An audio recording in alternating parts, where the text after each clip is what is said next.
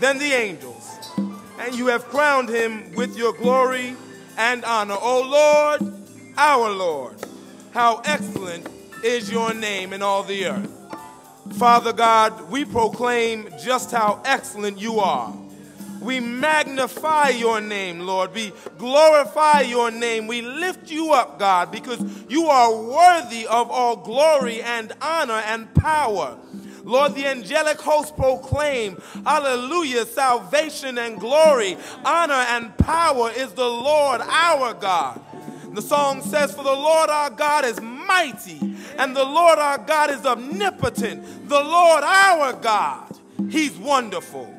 He's glorious. He's powerful. And we lift you up, Father God. You are worthy. And if the angels can bow down and cry out, Holy, holy, holy, Lord God Almighty, then surely we, whom you have sent your Son down to die for our sins, surely we can stop for just a little bit out of our busy day and give you some praise just for waking us up this morning, for starting us on our way, for putting us in our right mind, for being far better to ourselves than we could ever be to you, Lord.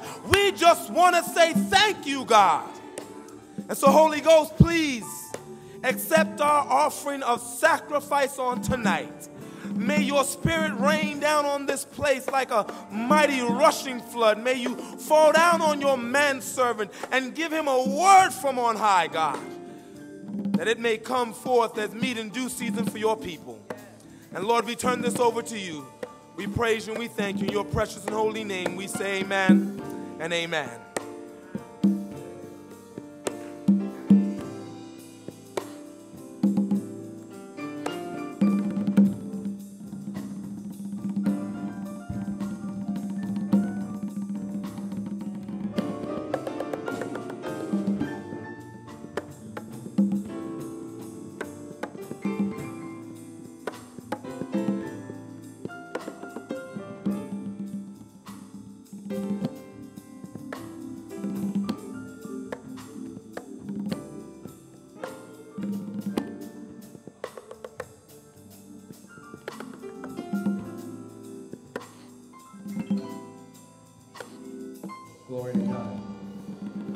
Church, say amen.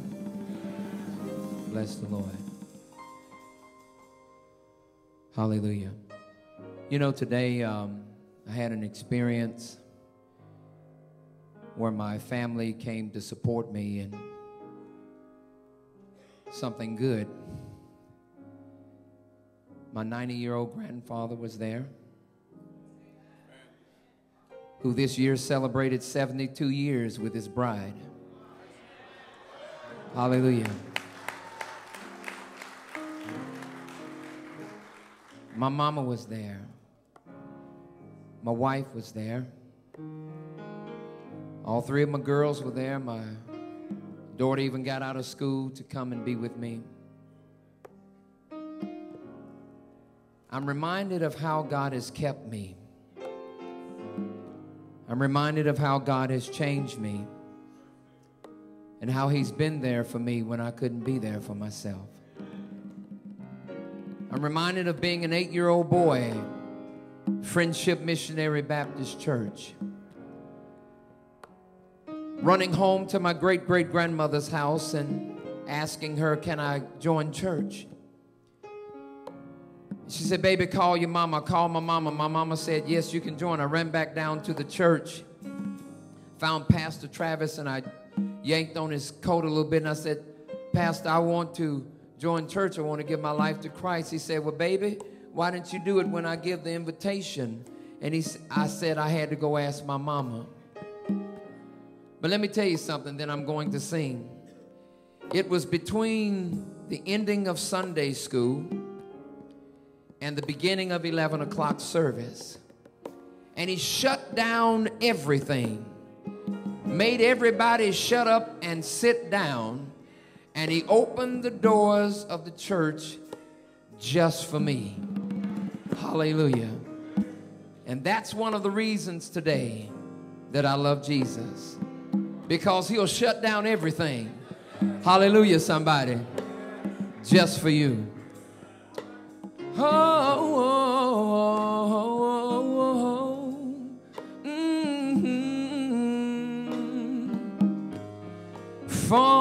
in love with Jesus, falling in love with Jesus, falling in love with Jesus was the best thing I've ever, ever done. Oh, I want to say one more time. Falling in love with Jesus. Falling in love with Jesus.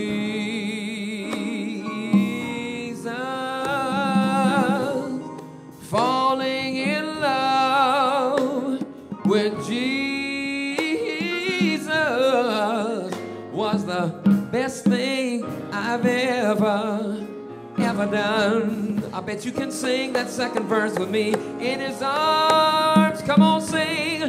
In his arms, come on, y'all. I feel protected. Anybody protected tonight? In his arms, never disconnected.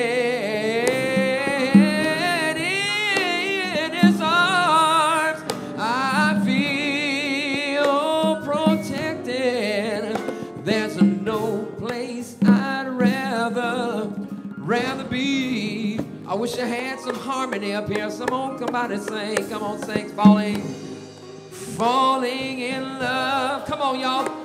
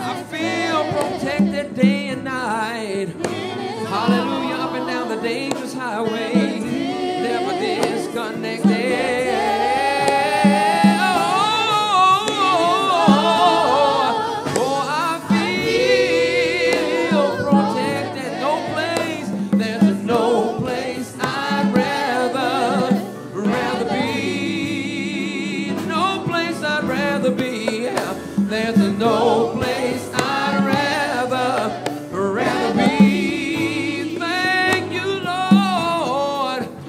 There's no place I'd rather, rather be.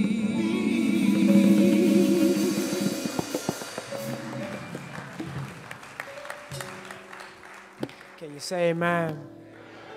Is falling in love with Jesus the best thing you've ever done? Praise the Lord. We appreciate our brother ministering to us. I want to welcome you once again. This is our Innovative Impact Conference. and we have expanded for the first time to include a praise and worship preaching service each evening. And we are so thankful that you have chosen to be with us. But our primary purpose for this conference is to pour into the heads of some of our pastors and church leaders, but also to pour into the hearts of some of our pastors and church leaders. And we thought that as these ladies and gentlemen have come aside to be refreshed and to be renewed, that it would be appropriate if we spent some time praying that God would empower them, that God would use them, that God would anoint them, that God would fill them afresh with the power of the Holy Spirit we have an elder in our church that is our administrative elder for prayer. And we have a couple of our prayer warriors who may actually be in our congregation. And we're going to invite our administrative elder for prayer, and if we have any prayer warriors, we're wanting them to come to the front, and we want all of the pastors and elders who came for this workshop to come and to come down to the altar. And as you press into a circle, we're going to ask our prayer warriors to place hands upon you. And we're going to ask for our administrative elder for prayer to pray that God's anointing would fall upon you. We recognize that it's one thing to be trained and to be equipped. It's one thing to come aside and rest for a while. It's a whole nother thing to be empowered with the Holy Spirit. Uh, we believe that when you go back to your congregations, your churches, you may have more insight and you may have visions and you may have dreams. You may have skills and you may be equipped to serve, but we want you to be empowered from on high. So at this time, as we bow and kneel together, we're going to ask Wonder Drake, our elder for prayer, to just pray that the power of the Holy Spirit would fall afresh upon our pastors and our elders.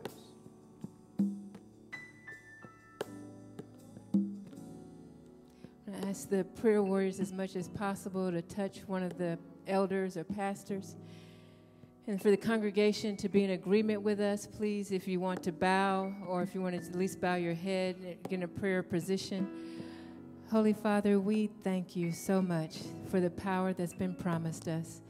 Lord, people trust in money, they trust in intellect, they trust in flowery words. But Lord, we're here because we trust in you. We know that you have a plan for individual congregations and for the church at large. That, Lord, you want us to be the spiritual head and not the tail. We don't want people saying, What is Adventism? We want them nodding, saying, Oh, yeah, those are Bible believing people. But Lord, as we see Satan putting his people in strategic positions, we want to be in strategic positions. We want to be exactly where you would have us to be so that we can claim souls from an area of darkness into this marvelous light. Lord, you have blessed us despite our weaknesses, despite our faults, and we thank you for that. We ask you, Lord God, to do something mighty. Help us to make spending time with you a priority that before we preach sermons, before we pray, before we take up offering, Lord, before we visit, that we have enough Holy Ghost that we can minister to people. We ask you, Lord God, to help open the Bible for us, Lord. Sometimes we read the Bible and it's boring. We're not getting anything out of it. But Lord, we ask you to send Gabriel to shine light. Open up the truth, Lord God, so that we can have it in us and then proclaim it mightily. Lord, Satan is shaking us. He's making the world think that they have to follow him in order to have strong marriages, that they have to have perversion in order to be happy, that they have to follow after money in order to be rich. But Lord, we know that you are the source of everything that's right and good. And Lord, we've got to speak this word mightily. They are making a mockery of your name. I feel like it's the time of Elijah, Lord, where they're saying, Follow Baal if you want power. They're saying, Follow Baal, he's the source of rain. They're saying, Follow Baal, he's the reason that the brooks run and the sun shines. And Lord, we need the Holy Ghost to say, Oh no, oh no. Lord God, we need to be able to say that God is the reason that brooks run, and God is the reason that the sun shines, that God can hold the sun in the position so that we can stay in the same position so that we can win wars. Lord God, we've got, we need you. We need much more of the Holy Spirit than we currently have. And so, Lord, help us the way babies cling to their mama. Help us to cling to you that way and say, We won't let you go until you bless us. I believe, Lord God, that there's a mighty work to be done. And we can't be weak. We can't be fumbling. We can't say we kind of know the Bible. Lord, we can't say we kind of know God. God might. Oh, no, we got to be like Joshua and say, Son, stand still until we win this war. And Lord, as you say in Daniel 9, you said that someday Michael will stand up. And Lord, we want that. We want Jesus to stand up. The world has to know that they're following a farce and that there's a God in heaven. He is the source of everything that's good. I love you so much. You deserve all of our praise, all of our glory. Lord, help us to not focus on our accomplishments. Help us not to focus on the, when people say great sermon, help us to bounce it back to you. The only reason people respond to your word is the Holy Ghost impresses them. It has nothing to do with the words that we speak. And so, Lord God, help give us perspective. Don't let Satan trip us up by focusing on ourselves, being proud of whatever position we hold in this church. Help us to be proud that we turned a soul to you. And Lord, when it's all said and done and Christ comes back to get his group, may we be there and say, Lo, this is our God. We have waited for him and he will save us. In the name of Jesus, we thank you. Thank you, thank you, thank you, Lord. Thank you. Amen.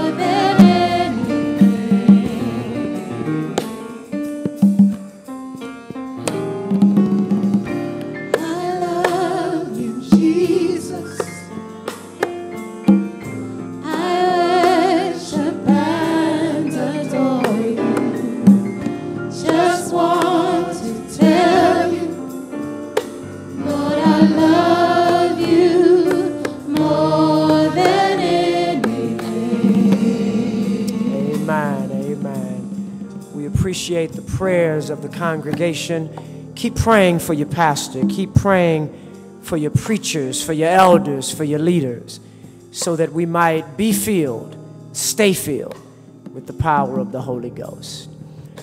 Once again, we want to thank the convener of our conference, Dr. Jesse Wilson, for all of the work that he has done. We also want to affirm the individuals who have been on his team, uh, the technological people, the video individuals, the sound individuals. We praise the Lord for our praise team, for our musicians. We praise the Lord for all of the support staff playing a team effort to make sure that this conference goes on without a hitch. And once again, we want to thank you for your presence here this evening. We are honored to have in our pulpit Dr. James Doggette, who is the pastor of the Madison Mission Seventh day Adventist Church in Madison, Alabama. We are preachers who spend our time feeding others. And anybody who spends time in the kitchen knows that even the cook gets hungry sometimes. Doesn't matter how long you've had to be in this task, whether you've been feeding for a couple of years or whether you've been feeding for 25 years, the cooks get hungry. And sometimes you need to be fed. but it's, it's hard to cook for cooks. You know, cooks cooks can get particular. They're hungry, but they they particular. They they want to make sure that the spices are right. They want to make sure uh, that the balance is right, that the that the food looks good, and that the presentation is excellent. They want to make sure that it's nutritious and delicious. It's hard to cook for cooks. It's hard to preach for preachers. So that's why we invited a preacher. We know that it's God that prepare, prepares the meal. We know that it's God that gives the word. But sometimes it seems like God just gives an extra word to certain preachers. And we have seen God give a special word to Dr. Doggette in times past. And we are praying that the Lord would give him a word in due season for this moment in time. Begin to even prepare your hearts. Pray now that the Lord would stir up your mind and begin to move your spirit, to break the fallow ground so that the word would land in receptive soil. Let's prepare our hearts to receive the word of God through Pastor James Doggette. After our meditational selection, we will hear the word of the Lord.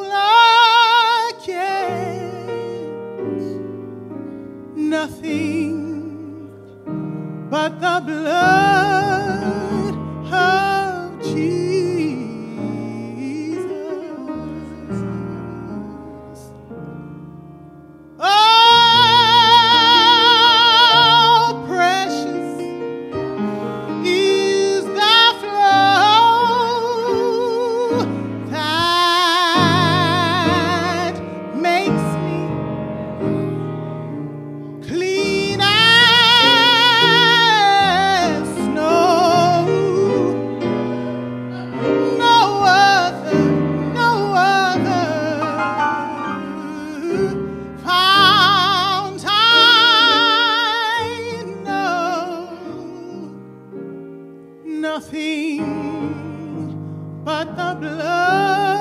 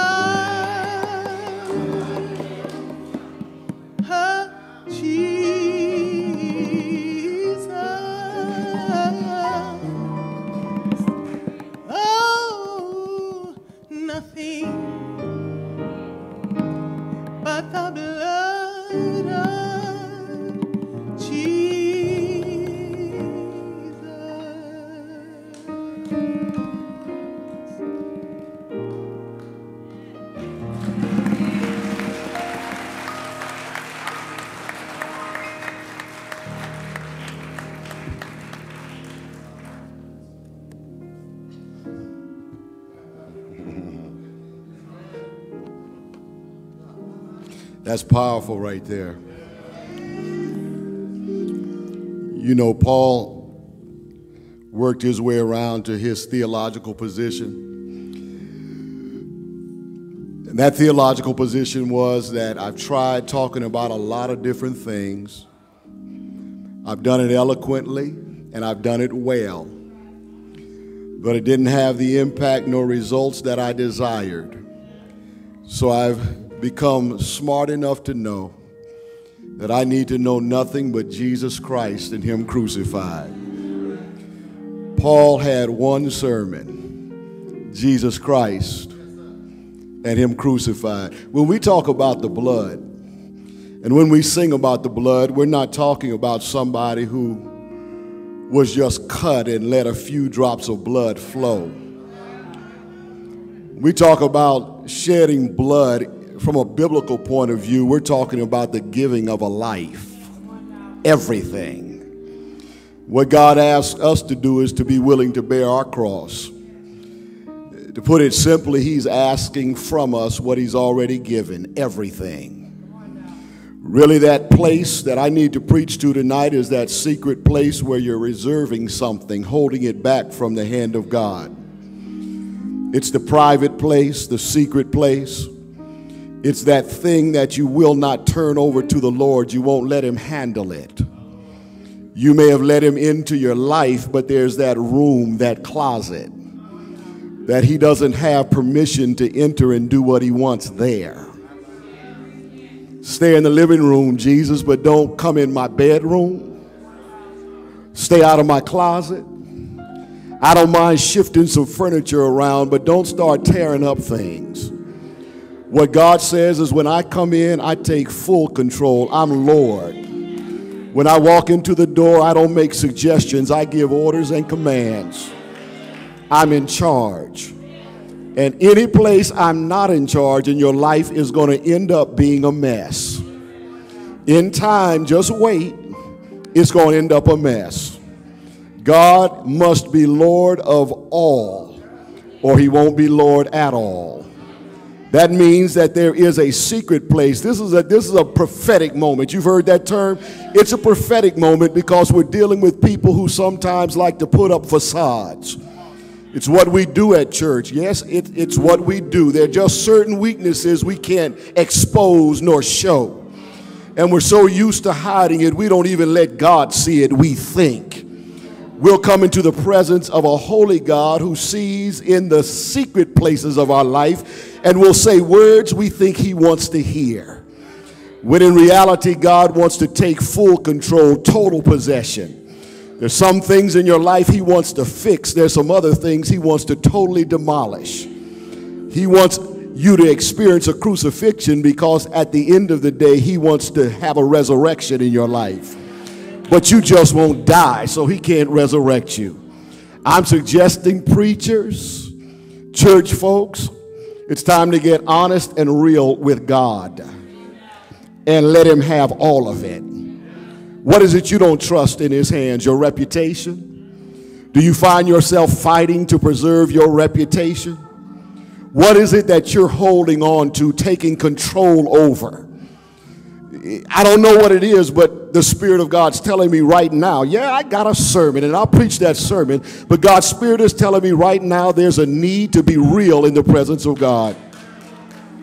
In meetings like this, we like to talk about a lot of good things going on in our lives, but the truth is there's a lot of brokenness that cannot get fixed because we just won't expose it to the healer. If you go to a doctor's office and try to tell him everything's all right, and when he asks you questions, you won't tell him where it hurts, you'll never get well. At some point, there is a need to just be real. There's some fears in this room. There's some insecurities in this room. There's some broken relationships in this room. There are some scars from the past that just won't seem to heal. And the problem is, we just won't let the healer put his hands on it. I'm telling you right now, if you let him get his hands on it, if you let him do what he wants to do, you'll be glad when he's finished with it. It gets tiring sometimes playing the game, keeping a smile on your face when there's a frown going on inside and talking about how blessed you are when in reality you know you're broken. At some point, God will receive the contrite heart and he'll fix those who are willing to be broken and open up their brokenness to him. One of the things that I find difficult in these meetings is just being real enough to get well. I have a feeling there's going to be a breakthrough in this place tonight. And if somebody gets their breakthrough, don't you even try to analyze it. Just recognize that there must be a healer in the house. And if you just get in line, your turn will come too. I feel it in my spirit. I think I need to, to, to stop and just say a word of thanks to the visionaries of this conference, those who are the originators, Dr. Wilson. Uh, let's get, yeah, it's it, a hand of applause for the wonderful conference that God put into your spirit, and you had the faith to act on it along with Dr. Russell. And we thank God for what you all have done. This has been another wonderful experience where individuals have come and have gotten their cups full. And we thank God for what He's done through you all. Also, I want to say a word of thanks to the visionary of this house, to the angel of this house. That is Elder Furman Foreman. Fordham. Elder Fordham. Come on, say amen for Elder Fordham. Elder Fordham is also full of the Holy Ghost and chucked full of talent and ability that's been dedicated to the Lord. And I thank God for Elder Foreman. Why do I want to call him Elder Foreman? Elder Furman Fordham. God bless you, Elder Fordham. Tonight I want to just give a brief word that comes from the book of Luke. Book of Luke, the 22nd chapter.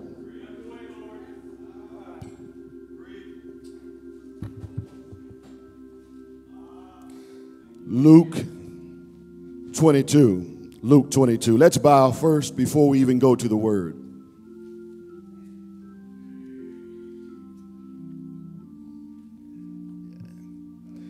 Father, in the name of Jesus, we thank you for this opportunity to open up the sacred pages of your holy word. We know that this is not a dead letter, it's not ancient literature, but it speaks to our situations today. So, what I request from thee as the preacher for this moment is that you will give to me a mind that is focused, a voice that is clear, and a heart that is clean. Use me as a conduit at this time. Bless your people not just with knowledge, but I pray that you would accompany the spoken word with the power of your spirit so that we will leave not just more intelligent but filled with power. In the name of Jesus, amen.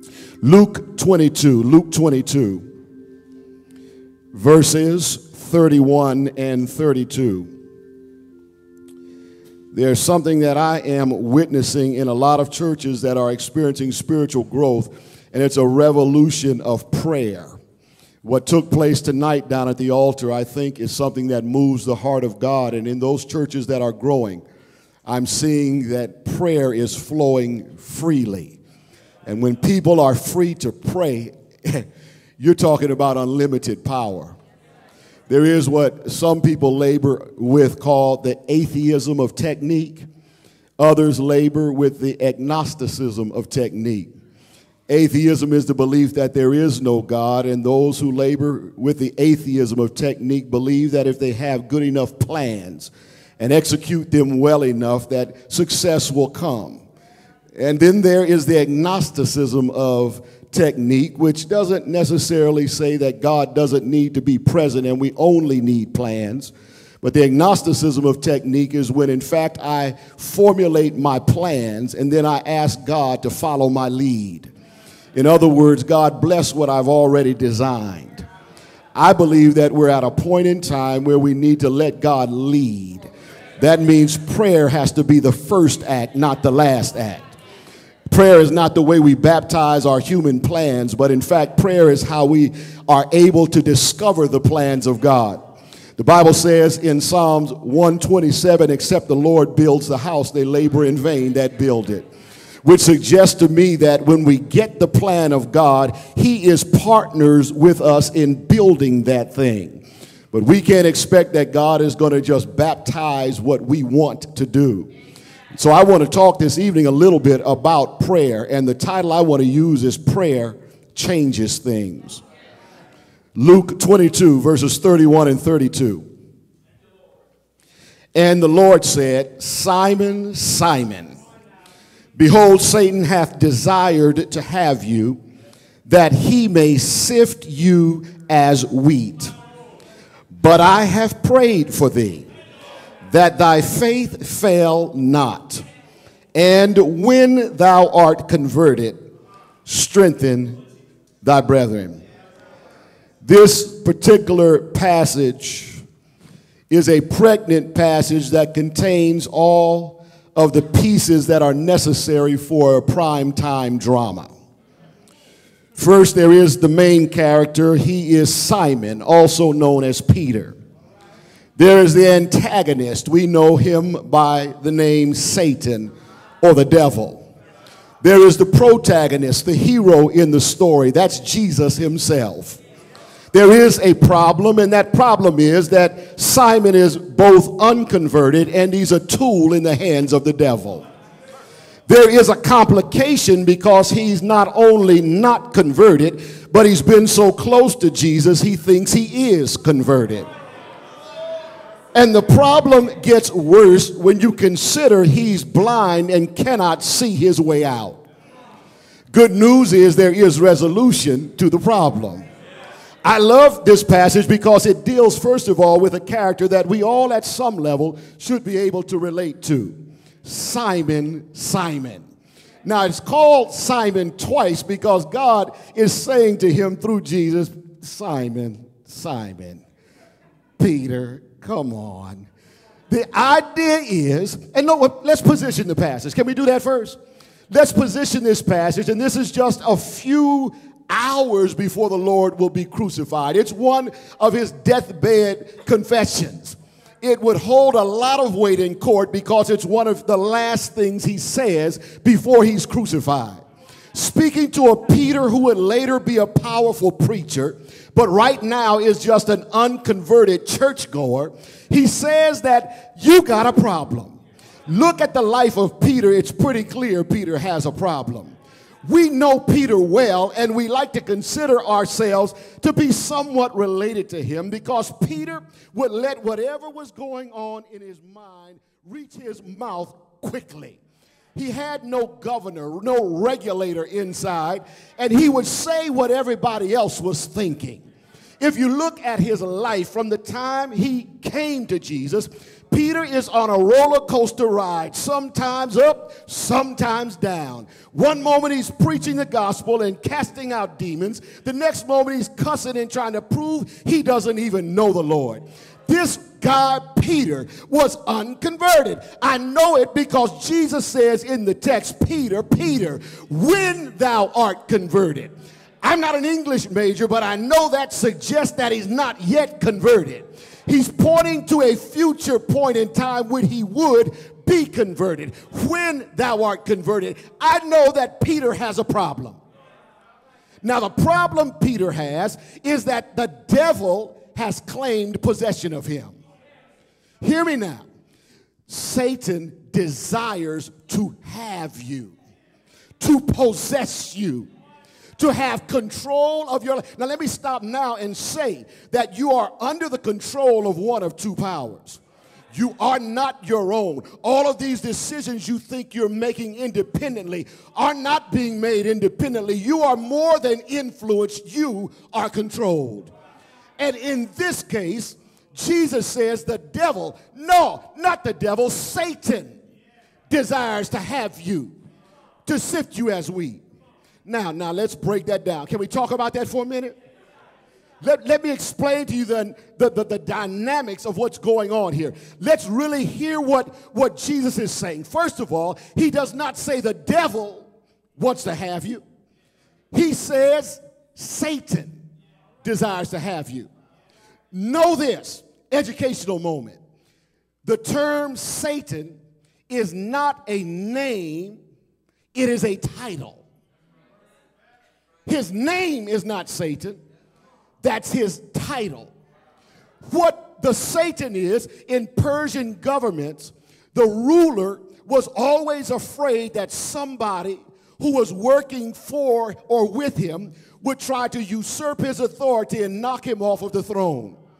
And so, to prevent a bloody coup or to be sideswiped or blindsided, he would literally put somebody on payroll and stick them in the midst of those who worked for him.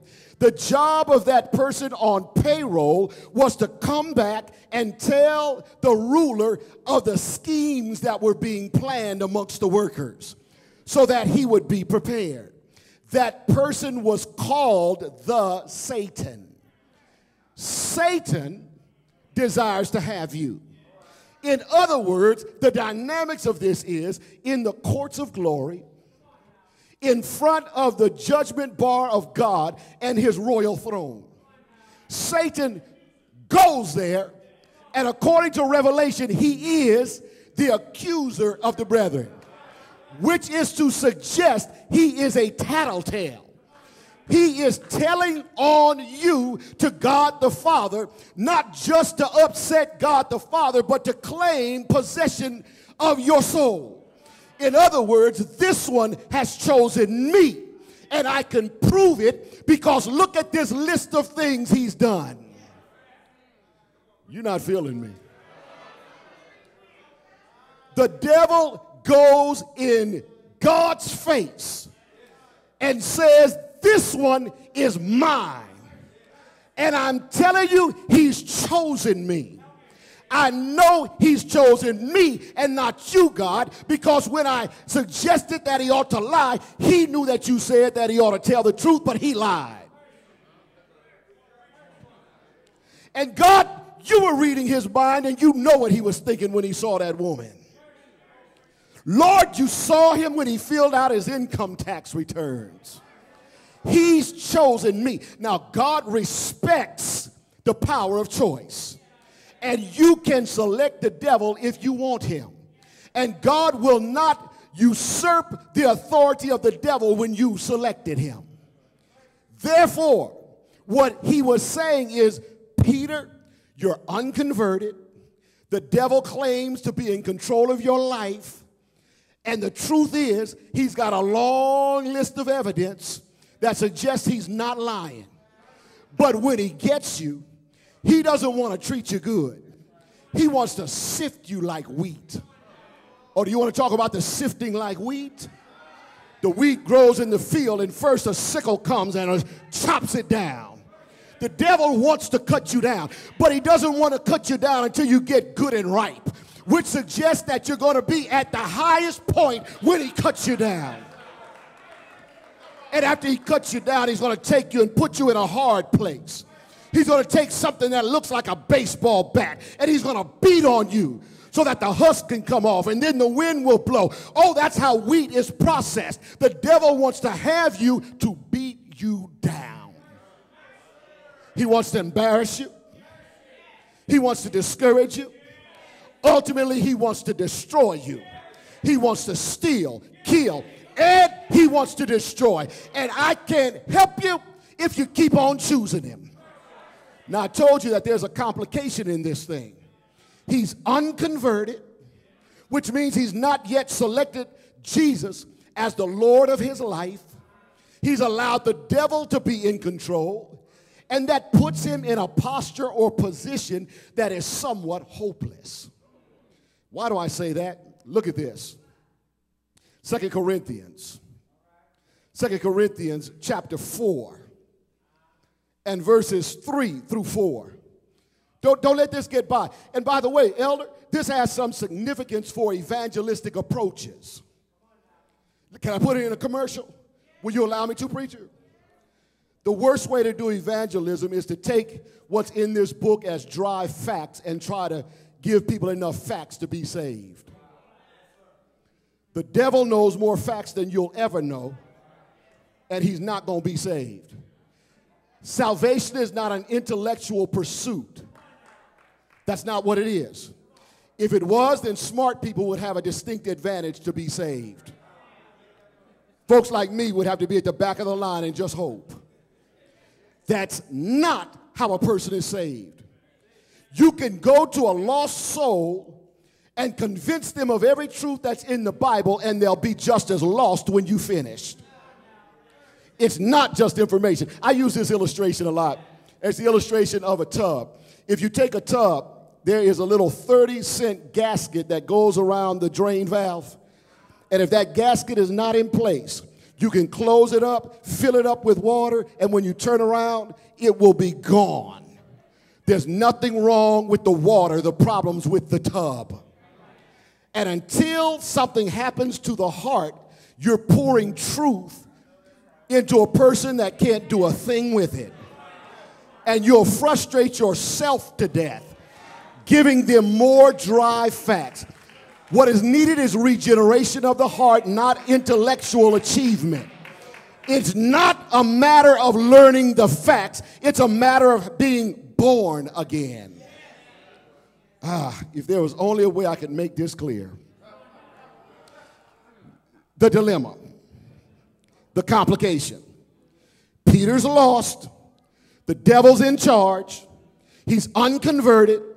His life is up and down. Why is he in trouble? Why can't he just reach out to Jesus? Why doesn't he just get it? Here's why. But if our gospel be hid, it is hid to them that are lost. Remember, he's lost. That's what he is. How does a lost person get found? In whom the God of this world, that's the devil, hath blinded the minds of them which believe not, lest the light of the glorious gospel of Christ, who is the image of God, should shine unto them. Do you get this? We're frustrated that blind people can't see. When the problem is they're blind. In other words, hey, why can't you see this thing I'm trying to show you? Have you ever tried to work with a drug addict and convince them that they have a problem? And you walk away frustrated that they don't come to the logical conclusion, not realizing the very nature of drugs is the mind is messed up so that it can't come to logical conclusions? You're going to destroy yourself. You're really not doing very well when the nature of the drug addiction tells them that they're in charge and everything's going all right, and you talk louder and louder and more and more logical, and it doesn't register. How many lost people do you know who you've tried to convince of the Sabbath? The 2300 days. They ought not eat pork.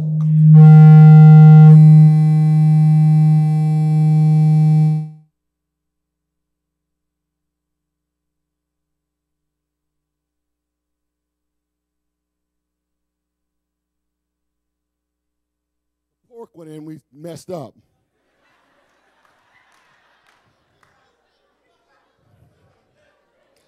And we walk away frustrated, not knowing why don't they get it.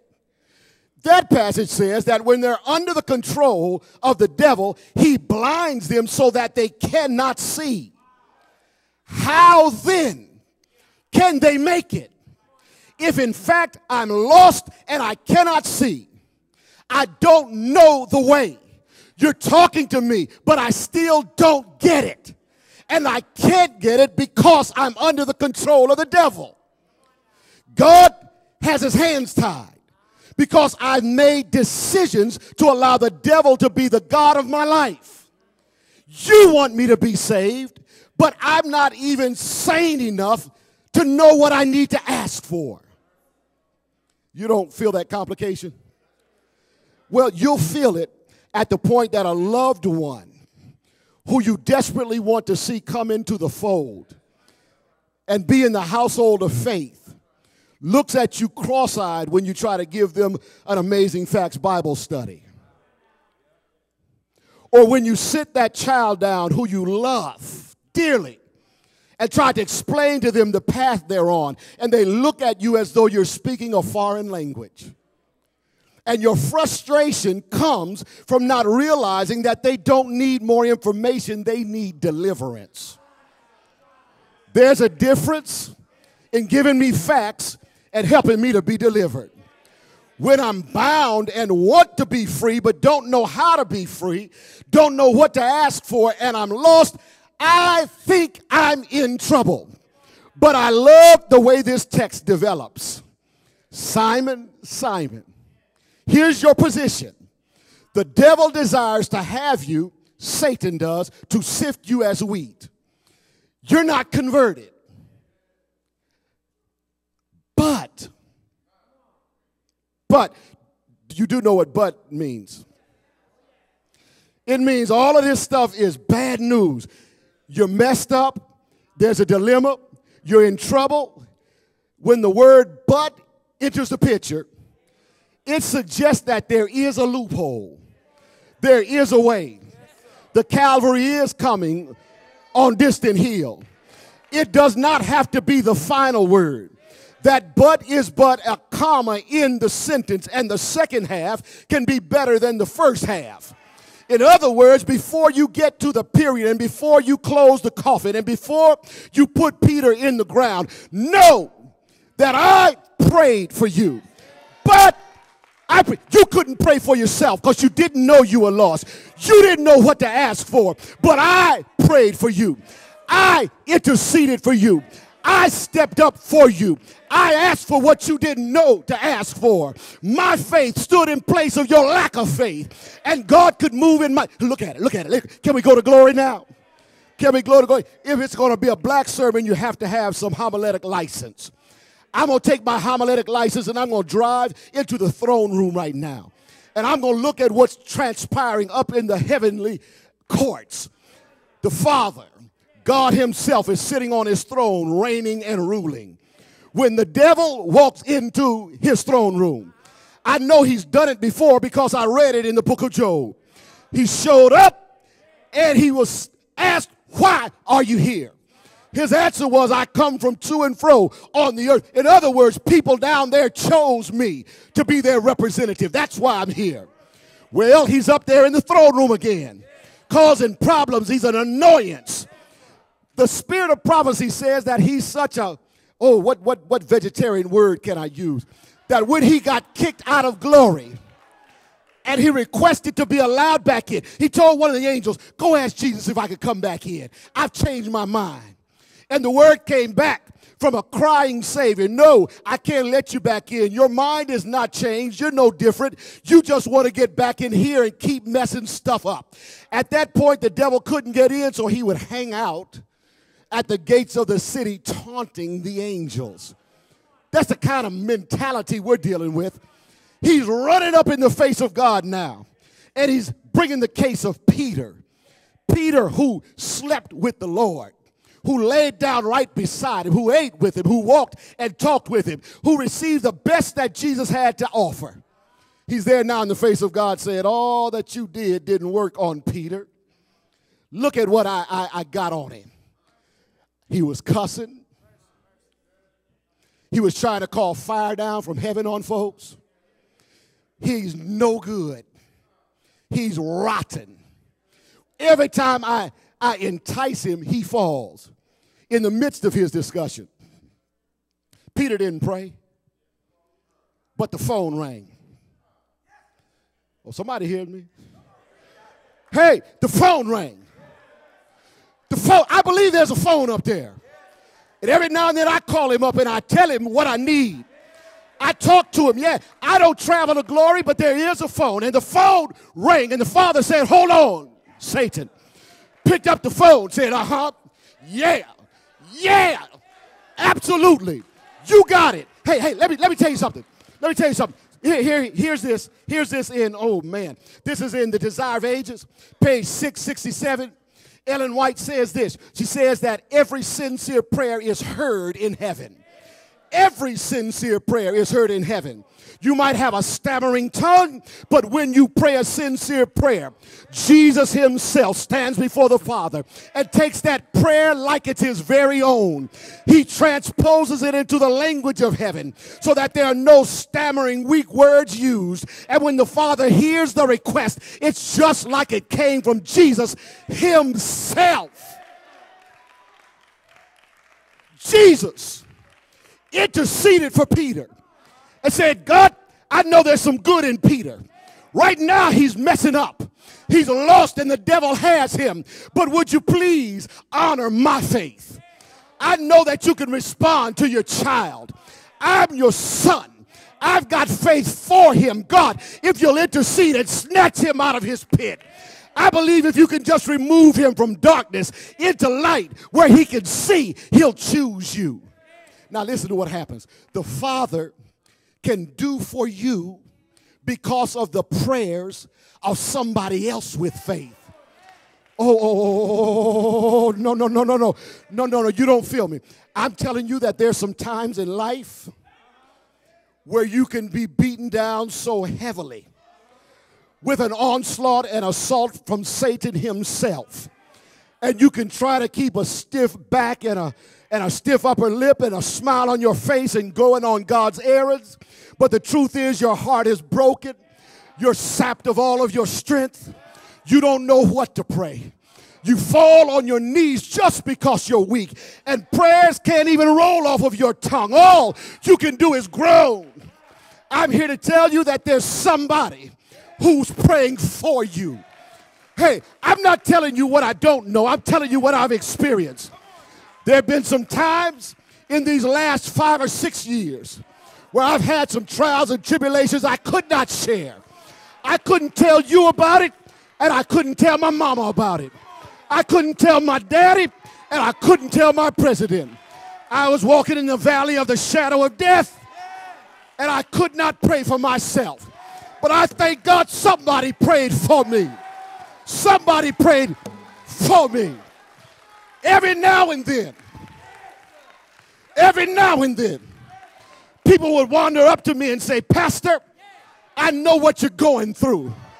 I understood what they meant, but I knew they weren't accurate, nor were they right. They were simply trying to say, I relate to the fact that you're going through some pain. You can't understand it because I don't understand it. But what I know is that when somebody would walk up to me and say, Pastor, I've been praying for you, that word buoyed me up, set me straight, because I received in answer to their prayer what I could not pray for myself. Somebody pray for me. God has called us to the ministry of prayer.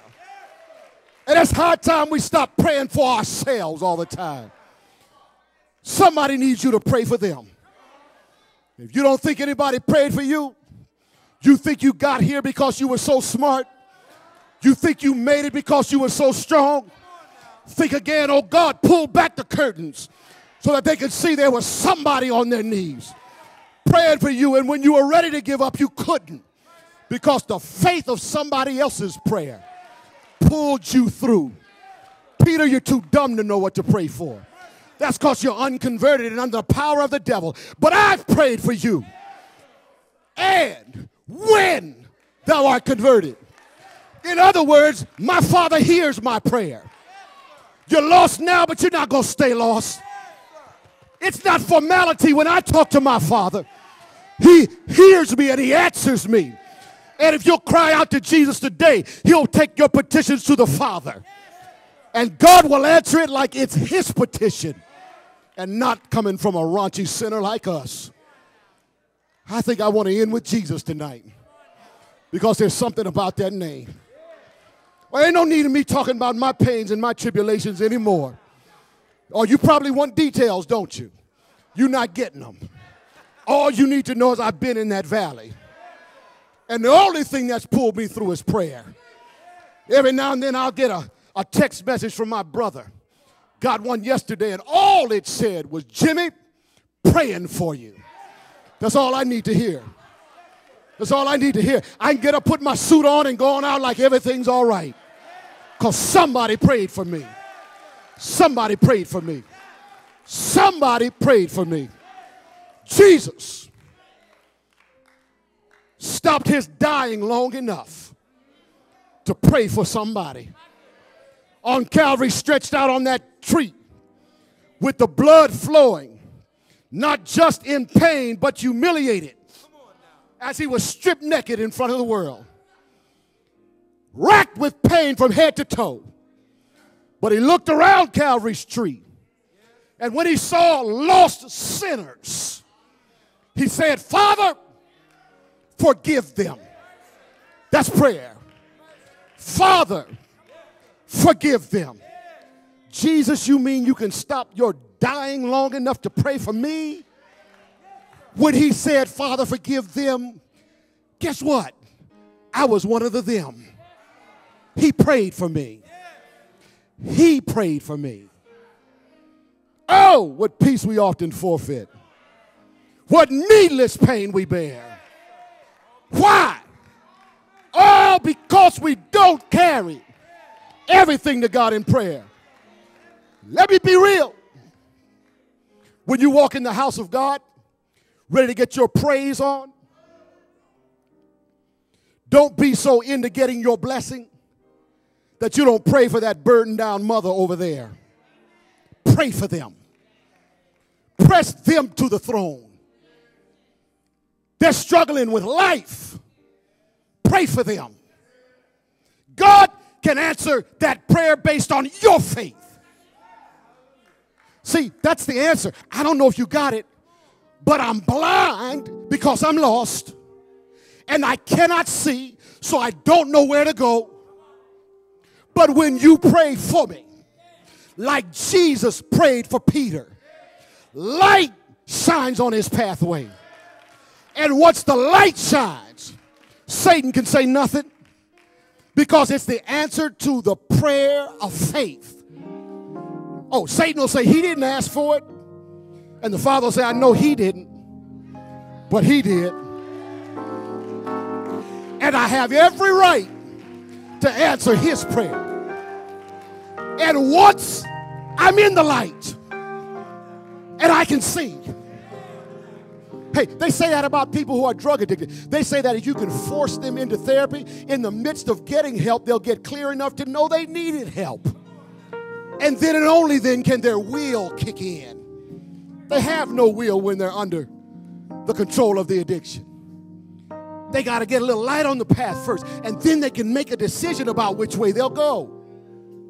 That soul can't decide. He's in darkness and he's blind. Get a little light on his path, and then he can make a decision about which direction he's going to go.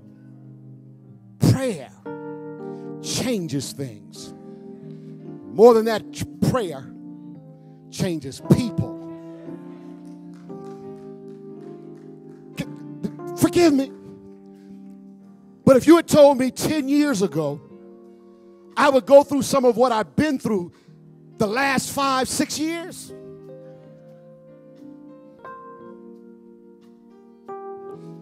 I would not have bet a nickel I could survive it.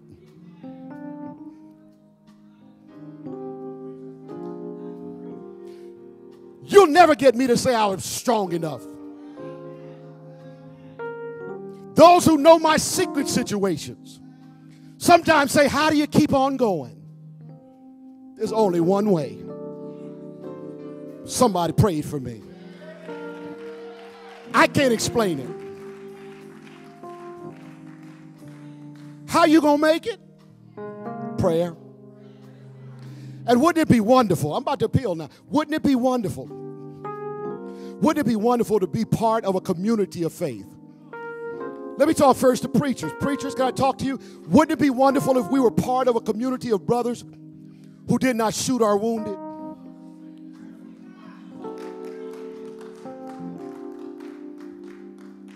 The kind of fellowship where I can enter and say, Brothers, I'm broken. And it's not the basis on which I'm disqualified for service. But all it is is a call to prayer. Wouldn't that be beautiful? I believe the devil's knees would tremble if we got going on like that. Wouldn't it be wonderful if our churches were places where we developed and built people up and didn't discard the broken, disqualify the hurting? Where people could be assured that if I come in and expose my brokenness, I'm going to be in an environment of prayer where I'm lifted high and supported in my pain. I'm talking about the kind of authentic community where prayer rules. We don't talk about each other to each other. We only lift each other up to God. It's high time that prayer stops being the formal way that we open up meetings and close them. If it's the breath of the soul, why don't we start breathing?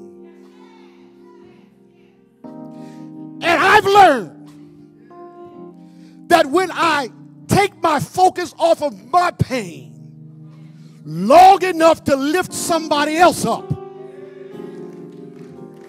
my pain begins to subside.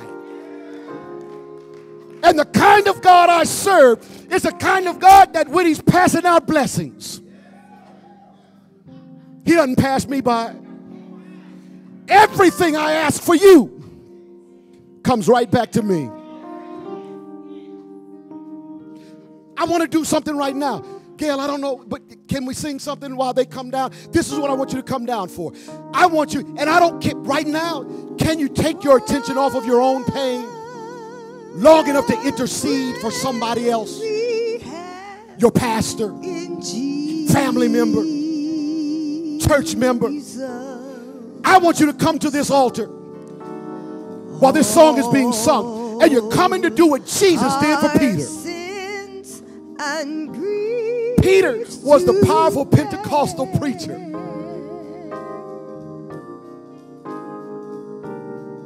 Cuss words rolling off his lips.